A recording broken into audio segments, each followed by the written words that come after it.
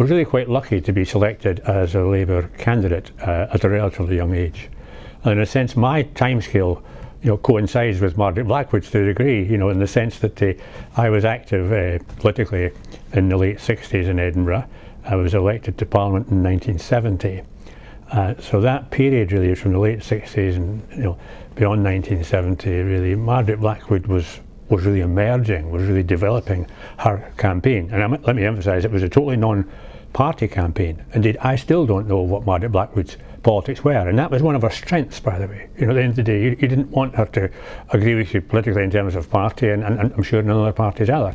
She was advocating the case for people with disability, and no one knew more about what life was like with a disability than she did. And, and by the way, she articulated that very well.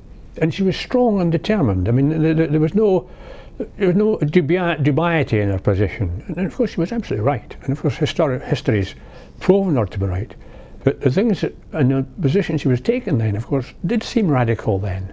It did seem to some people that this was asking rather a lot. But she, you know, her basic position was that, you know, disabled people should be able to live a full life just like a fully abled person. And that, that was really where she came from. And so that we had to organise our, our, our, event, our affairs, both in terms of financial support, in terms of the buildings, in terms of uh, all the other things, in order to make a society where a disabled person being born into that society could hope to have the same achievements and have the same ambitions as an able-bodied person. And that was that was really where she started from, which is very, very ambitious to achieve that. And we've made progress. Obviously, we've more to do.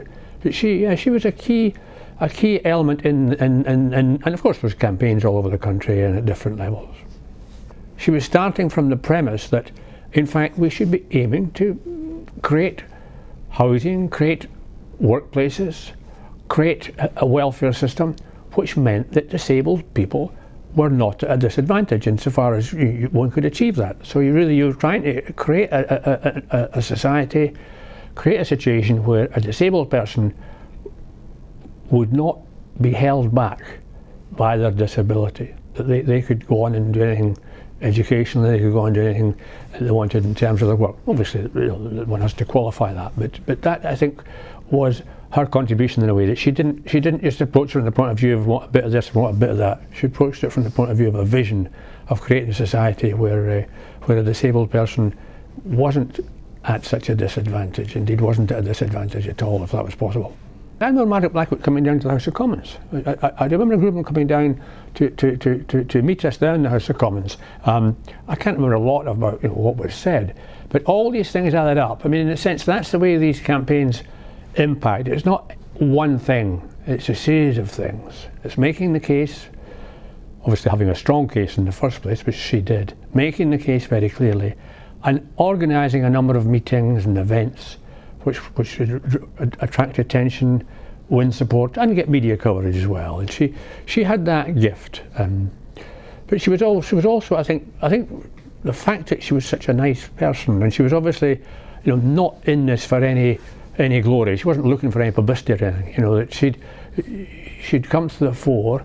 She obviously probably realised in the course of uh, a few years that really she was quite gifted at it and quite quite talented at it, and and what was you know her, her contributions were, were appreciated and, uh, and, and and respected. I was a very young man then. I mean I was elected at the age of 26, uh, so probably uh, probably you know my, my late 20s when uh, I uh, really got to know her, and uh, it was, you know, she could phone me up and I could phone her up. I mean, we, we had a good, a good dialogue, and I think you know, mutual respect.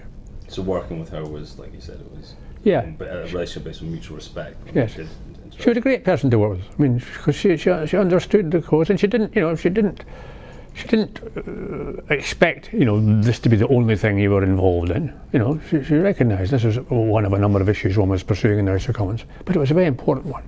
And, and I think you know we all owe her a great debt, frankly. I mean, she played a very important part in raising awareness, making the content link with the you know with the, the parliamentary process, getting through to politicians that something more has to be done, which eventually it was done, of course. She was a very important person in the whole campaign, and it's an ongoing campaign, to take the necessary steps, whether it's legislation, whether it's benefits, whether it's buildings, workplaces, homes, to make the changes to give disabled people a better chance in life, to improve their, their, their quality of life. And she, she deserves to go into the history books as one of the people, and certainly as far as we in Scotland are concerned, one of the leading people, the key people who made a real impact. Her legacy is the great progress that has been made. Yes, I mean, we should be proud of what she did, and, and it is her legacy, yes.